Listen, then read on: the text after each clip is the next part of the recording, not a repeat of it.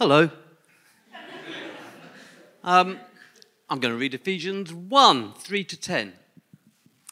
Praise be to the God and Father of our Lord Jesus Christ, who has blessed us in the heavenly realms with every spiritual blessing in Christ. For he chose us in him before the creation of the world to be holy and blameless in his sight. In love, he predestined us to be adopted as his sons through Jesus Christ, in accordance with his pleasure and will, to the praise of his glorious grace which he has freely given us in the one he loves. In him we have redemption through his blood, the forgiveness of sins, in accordance with the riches of God's grace that he lavished on us with all wisdom and understanding. And he made known to us the mystery of his will, according to his good pleasure, which he purposed in Christ, to be put into effect when the times will have reached their fulfillment, to bring all things in heaven and on earth together under one head, even Christ. Um, last week, uh, Dave talked about the first part of this passage uh, and focused on holiness. And uh, he explained how holiness is, uh, if you haven't heard it incidentally, uh, it's, it's on the website and it's very good. Um, anytime. Well, bits of it are quite good. Um, um, he explained how holiness is not about uh, withdrawing from the world and focusing on some form of inner purity. instead, holiness is about going out into the world and transforming it. Um, holiness, in that sense, is like light. You do not hide a light under a bowl, you put it on a table um, and let it shine. And as I was kind of watching it on the internet, I, was, I, had, a, I had, a further thought, which actually, just before, so before I go on to redemption, I want to kind of, uh, one more thing about holiness. Um, because I've always found it useful as a way of getting my head around what holiness is. And it fits in with Dave's analogy of, of holiness as light. Because when light passes through a prism, it splits into all the colours of the rainbow, um, plus some others which are outside our visible spectrum. Um, and when holiness passes through a metaphorical prism, you get the fruit of the Holy Spirit, you know, the fruit of the Holy Spirit. So, holiness is the combination of love, joy, peace, patience, kindness, goodness, faithfulness, gentleness, and self control, and probably plus one or two others that are outside our human spectrum. So um, I don't know whether that's an image which uh, helps, but um, it's always helped me to sort of visualize what holiness is. Anyway, um, how do we absorb a passage like Ephesians 1 that I've just read? Um, as Dave said last week, uh, it's all one sentence um, in the Greek. It's, it is a breathless rush of passionate thanks and praise. Um, but what do we tend to do with it? Well, often, as indeed we're doing in this series, we, we, we break it down into theological chunks. Um, for those of us from a certain background, the, the, this passage contains a number of lovely triggering words predestination, adoption, sin, forgiveness, grace, and redemption. Um, and these are individual words that have become weighted over the years with a specific theological resonance. Um, and they are words around which we have built a complex theology uh, and specific definitions for each of them. And as a result, they have become words that are, are used to explain abstract intellectual theories often. So, what does redemption precisely mean? Um, what does salvation mean? Well, and what does predestination mean? If, if, you know, if some are chosen, does that mean that others are not chosen? And, and how precisely was this all achieved through his blood? So, and we have these, these debates. And this evening's talk is on, on redemption. And I could spend my allotted time providing an explanation to you about the way in which a slave could be redeemed in the first century and why Paul used that as an analogy. And then I could discuss the various theories as to how, theologically speaking, Jesus' death redeemed or freed us. And there be, obviously there'd be nothing wrong in, in, doing that. You know, that's been done a thousand times before, um, much better than I would ever be able to do it. Um, but my own personal journey has been slightly different. In, in recent years, I've become increasingly uncomfortable with that approach. Um, and that's for two reasons. First, I am a lawyer, and this approach feels too lawyerly. It's too presenting an argumenty, kind of too academic, too intellectual. If, if God had really wanted us to think in that way, he would have provided us with a textbook rather than the stories and letters and poems and histories that form the Bible. And Paul would have used bullet points and semicolons rather than this beautiful torrent of words. The second reason why I'm increasingly uncomfortable with the approach is that if Paul was living now, would he use the same words to explain? Possibly some of them, but I suspect not all of them. So let's look at redemption, for example. I mean, realistically, would he be using a word linked to slavery in 2022? I mean, the word redemption now in modern usage is limited to paying off your mortgage. And that does have some meaning in this context. But I suspect that Paul would find a different analogy, a different image, um, one that would be more familiar to people in 2022, because words and analogies are just ways of explaining much bigger truths. Did Paul intend this specific choice of words to be pored over by theologians for the next 2,000 years? Again, possibly, but I suspect not. Um, what was important to Paul was that he explained the good news of Jesus as clearly as possible to his audience in the first century. And don't get me wrong, please don't hear what I am not saying I am not criticizing theology because everything is theological, because Christ is in all and through all and above all and below all. Indeed, everything that I've said in this talk so far and onwards is, in this sense, theological because it's talking about God and how we understand and, and etc. etc. But perhaps the best theology is not academic, lawyerly theology, or maybe it's not purely that, but also it is emotional, it is relational, it is human.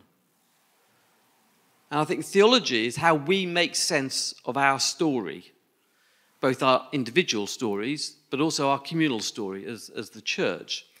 And whilst I could be completely wrong about this and about many things, but you know, and perhaps in my approach, I've swung too far the other way now.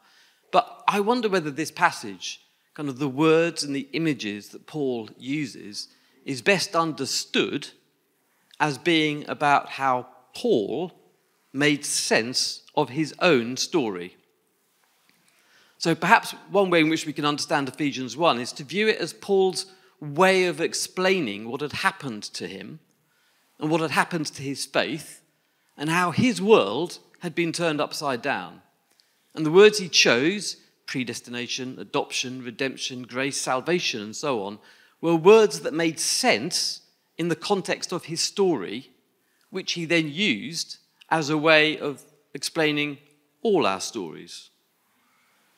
And please don't think that I'm belittling it by saying that. Uh, I, I, think quite the opposite. In fact, it, it, it lifts this passage from the realm of human intellect and understanding what individual words mean to the realm of human emotion. To truly understand Ephesians 1, we must use more than our mind. We must use our heart. And we don't need to understand redemption at an academic level, but we do need to understand it emotionally. Now, to put that into context, let's briefly look at Paul's life and summarize kind of what happened to him, because he was a devout Jew, um, a Pharisee of Pharisees. You know, he was very, very zealous. Um, and in his letter to the Philippians, he says that he was faultless with his legalistic righteousness. So, I mean, he was an absolute archetype of, of a particular type of, of, of religious person.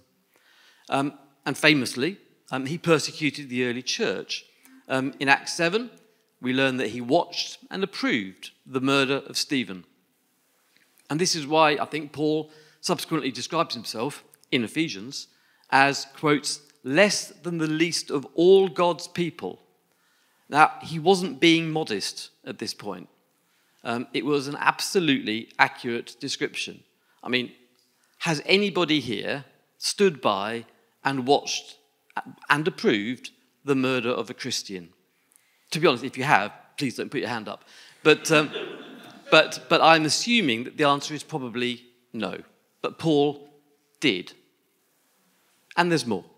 Acts 8 then states that Paul, quotes, began to destroy the church. Going from house to house, he dragged off men and women and put them in prison. In Acts 9, it states that he breathed out murderous threats against the Lord's disciples. But then, as he traveled to Damascus to continue this brutality, he was confronted on the road by a vision of Jesus. Unexpected, unrequested, uninvited, but utterly transformational. This was, as conversions go, this was extreme. Um, he was literally blinded by the vision before having his eyesight restored three days later. It was so unexpected and so extreme that it took him years to get his head around what had happened. In the letter to the Galatians, he says that he initially went off to Arabia to work it all out. And only much later did he go to Jerusalem to see Peter and James. Can you imagine a, a man with his background, his religious background, and that happening? It takes a while to get your head around it. Think, what has happened to me? And of course, Paul put that into words, and he had a very clear theology about it. You know, we, we see his theology coming through all of his letters, and we can definitely see it in this passage that we've read. The words that he uses in Ephesians 1 are all the words that he explains in more detail elsewhere.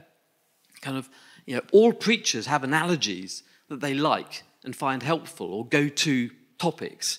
For example, I often link things back to the Lord's Prayer.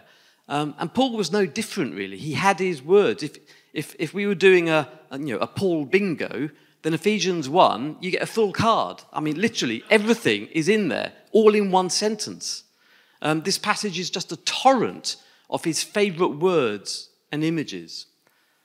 But I think his theology was, was a way of interpreting what had happened, what had happened not just for him personally, but for the Jewish nation, for the church, and for history as a whole. And we know from Acts that when he was telling his, when he was confronted by leadership, kind of he would tell his story. That was the way he presented the gospel through his testimony. And in many of his letters, he refers back to his past, the things that had happened to him. And his story was a vital part of his theology. And the clarity of his theology was perhaps affected by the extreme nature of his story.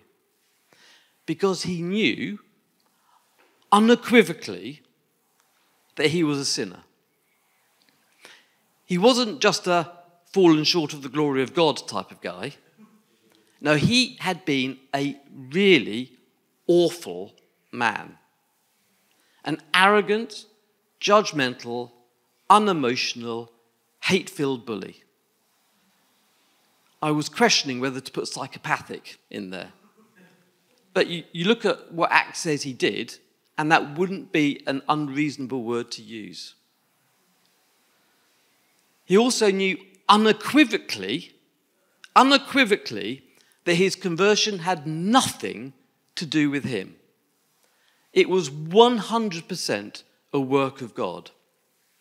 For him, grace, undeserved gift of God was not an abstract concept, but a living reality. It was the only way he could describe what had happened to him. So, all of the time, he had to get his head around the fact that God had done that for him. And then he had to work out why God would do that with someone as awful as him. And this is the third thing which he knew unequivocally. He knew unequivocally that he had been called for a purpose. And unsurprisingly, those three unequivocal bits of knowledge that he was a sinner, that it was all 100% God, and that he was called for a purpose, all of that comes through the vocabulary that he uses to explain it. If, if Paul had had a more mundane conversion, perhaps a gradual realization over a period of years, or a tale of intellectual searching and discovery, or he'd been on an alpha course, um, or, or the consequence of a series of conversations with a godly friend, well, perhaps the vocabulary that he would have used to explain his theology would have been very different. Thankfully for us, thankfully for us, not for him, but thankfully for us, his story was extreme. It was badness, badness, badness, bish bosh, new creation. I mean, literally, boom. He was one thing, boom, another thing. For him, new creation, once again, was not a metaphor. He was literally a new creation. He had changed overnight. He had traveled from darkness to light, both metaphorically and literally, given that he had been blinded. And this was a conversion of the most unequivocal nature, and therefore he was able to explain it in much clearer terms than perhaps you or I would have been able to do if we had had more gentle conversions. And it's interesting to note that of all the apostles, his conversion was the most extreme. Would Peter, would John, would James have been able to express the gospel in the terms that Paul had expressed them? Who knows? Who knows? But, but there's no doubt that Paul's conversion was, was more extreme than the others. And in Ephesians 1, we see all of these thoughts, all of his history, all of his story and beliefs and about himself and about the church. It all just comes pouring out in this waterfall of praise. I still can't quite believe that God blesses me and us with everything. I still can't quite believe that God has chosen me and us as his messengers. I still can't quite believe that God calls me, me, Paul, the sinner, the guy who approved Stephen's death, that God calls me his son. I still can't quite believe that God did all this of his own volition when we deserved nothing. I still can't quite believe that God has given me this second chance. I still can't quite believe that I'm now part of the answer when for so long I was part of the problem.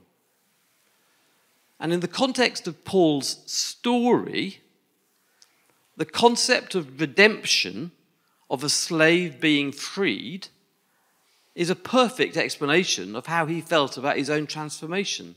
It was a brilliant way in first century Judea of explaining to his audience how he felt about what had happened to him in an extreme way and therefore what had happened to all of us, albeit perhaps in slightly less extreme ways. And in my opinion, this, this passage should not be read as a, a series of theological abstractions, but as one man's song of praise and expression of disbelief that he had been given the opportunity to participate in the greatest mission of all, as he expressed it, to bring all things in heaven and on earth together under one head, even Christ. And for Paul, all of this was made possible by the death and resurrection of Jesus. If Jesus had not died on the cross, the church would not exist.